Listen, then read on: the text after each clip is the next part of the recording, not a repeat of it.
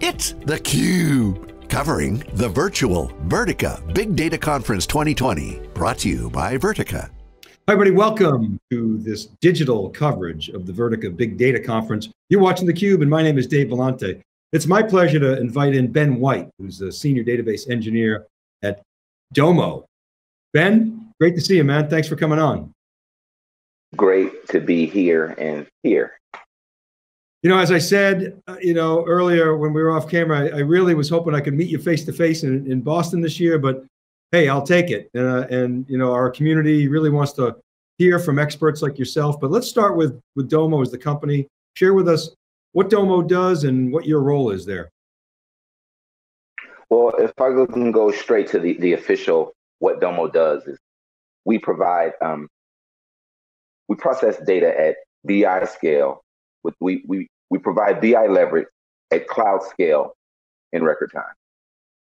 And so what that means is, you know, we are a business operating system where we provide a number of uh, analytical abilities to companies of all sizes, but we do that at cloud scale.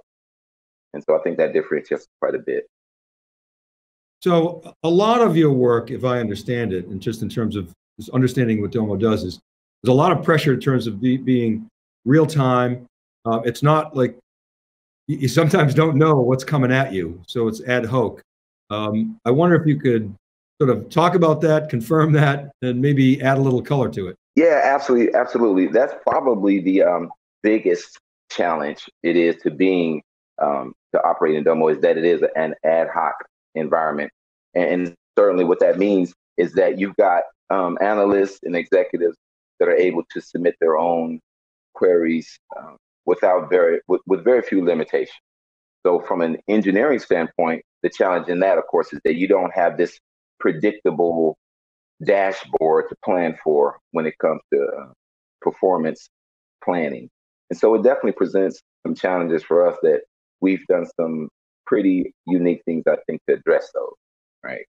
So it sounds like your background fits well with that. I, I, I understand your, people have called you a database whisperer and an envelope pusher. Um, what does that mean to a to a DBA in this in this day and age? The whisperer part is probably a, a lost art in, in the sense that it's not really sustainable, right? The idea that you know whatever it is I'm able to do with the database, it has to be repeatable, and so that's really where analytics comes in, right? And that's where pushing the envelope comes in. And in a lot of ways, that's where Vertica comes in with its open architecture. And so, as a person who has a reputation for saying, I understand this is what our limitations should be, but I think we can do more, having a, a platform like Vertica with such an open architecture kind of lets you push those limits quite a bit. I mean, I've always felt like, you know, Vertica, when I first saw the Stonebraker architecture and talked to some of the early founders, I always felt like it was the you know Ferrari of, of databases, certainly at the time. And it sounds like you guys use it in that in that regard. Um, but talk a little bit more about how you use Vertica. Why, you know, why MPP? Why Vertica? You know, why why can't you do this with our RDBMS? Educate us a little bit on sort of the basics. But for us, it was part part of what I mentioned when we started. When we talked about the very nature of the Domo platform, where there's a, a, a an incredible amount of uh, resiliency required, and so Vertica, the MPP platform, of course, allows us to build uh, individual database clusters that can perform best for the workload that might be assigned to them. So the um, the open, the um, expandable, the the, um, the the the ability to grow Vertica right as your your base grows, those are all important factors when you're choosing early on, right? Without a real idea of how growth would be or what it would look like, if you were kind of throwing something into the dark, you looked at the Vertica platform and you could see well, as I grow, I can kind of build with this, right? I can do some some unique things with the platform in terms of its open architecture that would allow me to not have to make all my decisions today, right? About how I'm going. So you're using uh, Vertica. I know, at least in part, you you working with AWS as well. Can you describe sort of your environment? Are you do you have anything on prem? Is everything in the cloud? What's your setup look like? Sure, we have a, a, hybrid cloud environment where we have a significant presence in public clouds and our own private cloud. And so, yeah, having said that, we certainly have a really um, uh, an extensive presence, I would say, in AWS. And so they're definitely a good partner of ours when it comes to providing the um, databases and the, and the, server power that we need to operate our platform. From the standpoint of engineering and architecting a database, what were some of the challenges that you faced when you had to create that hybrid architecture? Um, what, did, what did you face and, and how did you overcome that? Well, you know, some of the, um, well, there are some things we faced in terms of one, it made it easy that Vertica and AWS have their own, um, obviously, they play well together. we'll say that. And so Vertica is designed to run on AWS. And so that part of it took care of itself. Now, our own um, private cloud and being able to connect that to our public clouds has been a part of our own engineering abilities. And again, I don't want to make little light of it. It's certainly not impossible. And so we've, uh, some of the challenges, though, as it pertains to the database, really were in the early days. And you mentioned um, when we talked a little bit earlier about um, Vertica's most recent Eon mode, and I'm sure you'll get to that. But when I think about early challenges, some of the early challenges were the architecture of enterprise mode. When I talk about all of these, this idea that we could have unique databases or database clusters of different sizes or this elasticity, that's really, if you know the, the enterprise architecture, that's not necessarily the enterprise architecture. So we had to do some unique things, I think, to overcome that right early to get around the rigidness of uh, enterprise. Yeah, I mean, I hear you, right? Uh, uh enterprise is complex and and you like when things are hardened and, and fossilized, but in your ad hoc environment, that's not what you needed. So talk more about Eon mode. What what is Eon mode for you, and how do you uh, apply it? What are, what are some of the challenges and opportunities there that you found? Um, so the opportunities were certainly in its elastic um, architect, architecture and the ability to separate compute and storage immediately meant that for some of the um, unique data paths that we wanted to take, right, we could do that fairly quickly. Certainly, we could expand databases, right, quickly. But more importantly, now you could reduce because previously in the past, right, when I mentioned the enterprise architecture, the idea of, of growing a database in itself has its pain, right, as far as the time it takes to seed the data and that. But to read to then think about taking that database back down a, a no a no go all of a sudden with Eon, right, you had this elasticity where you could kind of start to think about auto scaling, where you go up and down, and maybe you could save some money, or maybe you could improve performance, or maybe you can meet demand at a time when the customers need it most in a real way, right? So it, it was it's definitely a game changer in that regard.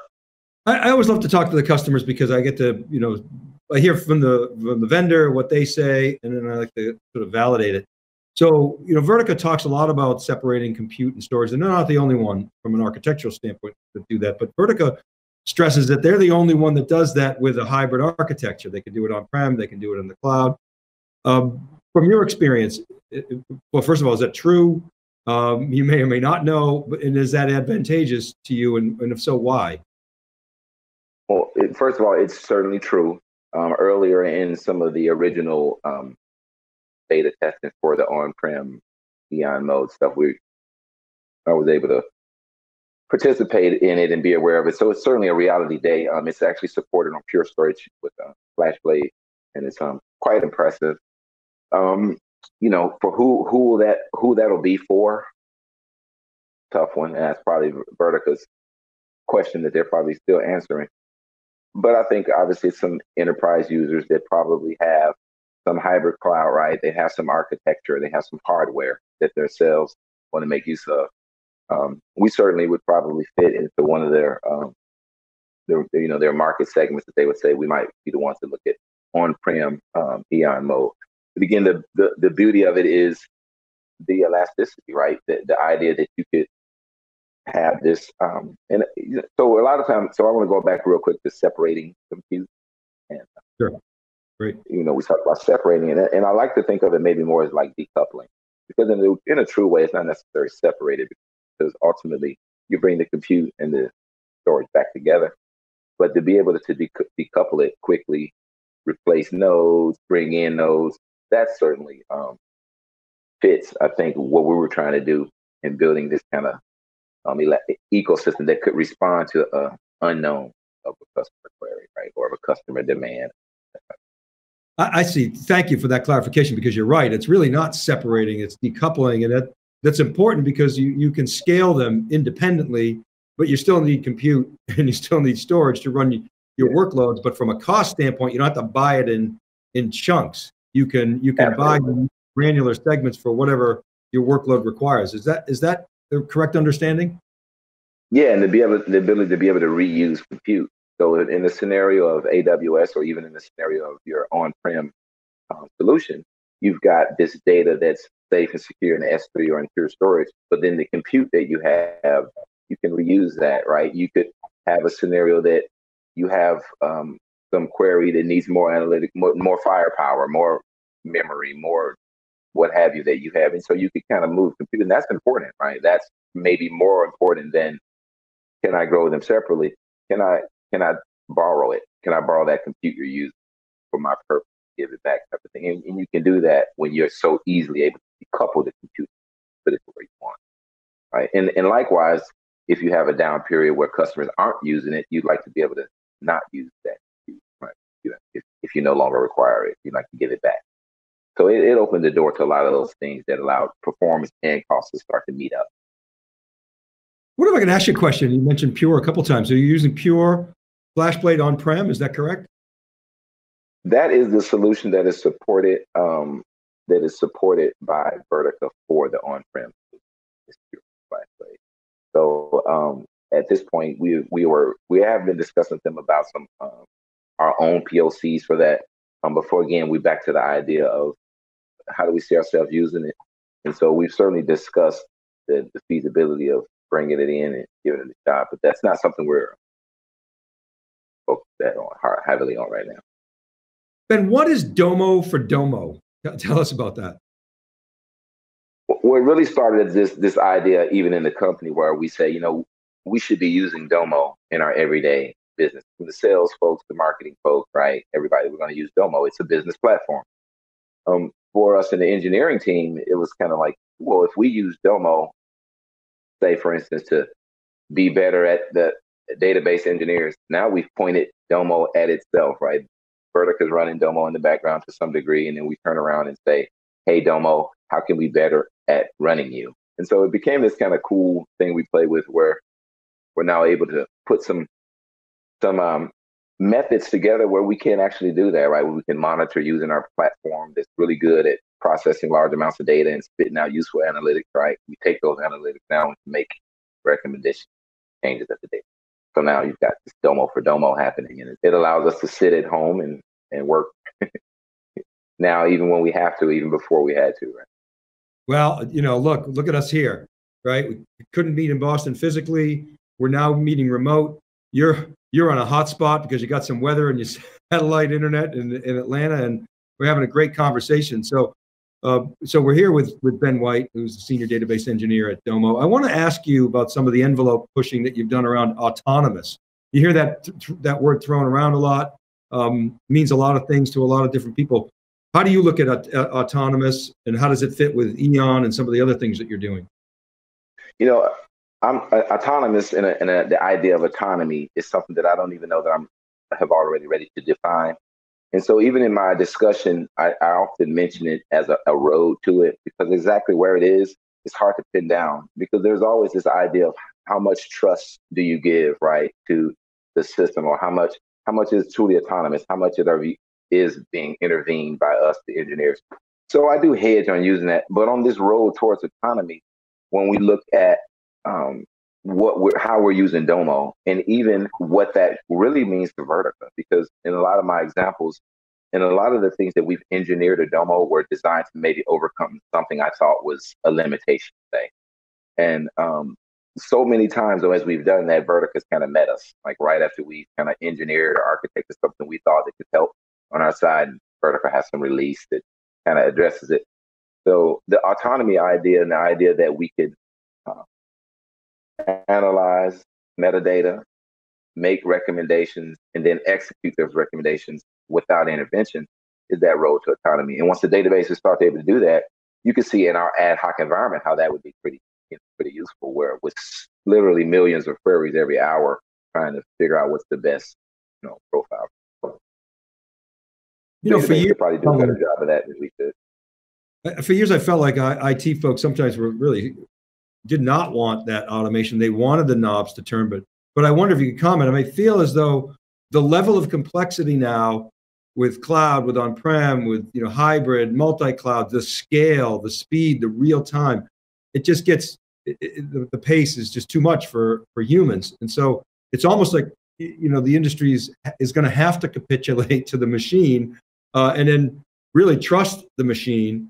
Um, but I'm, I'm, I'm still sensing from you a little bit of hesitation there, but light at the end of the tunnel. I wonder if you could comment. Sure. I think in the light at the end of the tunnel is even in recent months and recent, um, we've really begun incorporating more machine learning and um, artificial intelligence into the model, right? And back to where we're saying. And so I do feel that we're getting closer to finding conditions that we don't know about. Because right now our system is kind of a rule rules based system where we've said, well, these are the things that we should be looking for, or these are the things that we think are a problem. Um, to mature to the point where the database is recognizing anomalies and taking on pattern matching saying these are problems you didn't know happened. And that's kind of the next step, right? Identifying the things you didn't know. And that's where that's the path we're on now. And that's probably more exciting even than kind of nailing down all the things you think you know and to figure out what we don't know yet. So I want to close with um, I know you're a, a, prominent member of the uh, respected member of the Vertica uh, Customer Advisory Board. You know, without divulging anything confidential, I mean, what are the kinds of things that you want Vertica to do uh, going forward? Oh, I think some of the in, da- in database autonomy, um, the ability to take some of the recommendations that we know we can derive from the metadata that already exists in the platform and start to execute some of the recommendations. Um, another thing we talked about, and I've been pretty open about talking to it, is talking about it is the um, a new version of the database designer. I think is something that I'm sure they're working on. Um, lightweight, something that can give us that database design without the overhead. Those are two things I think as they nail, or particularly the database designer, as they perfect that, they'll really have all the components in place to do in-base autonomy. And I think that's to some degree where they're headed. Yeah, nice. Well, Ben, listen, I really appreciate you coming on. You're a thought leader. Uh, you're very open, open-minded. Vertica's, you know, really open community. I mean, they've always been quite transparent in terms of where they're going. It's just awesome to have guys like you on the cube to to share with our community. So thank you so much, and hopefully we can meet face to face shortly. Absolutely. Well, you stay safe in Boston, uh, one of my favorite towns, and so no doubt when the when the doors get back open, I'll be coming coming down or coming All up, right. as it were. Take care. All right, and thank you for watching, everybody. This is Dave Vellante with theCUBE. We're here covering the virtual Vertica Big Data Conference.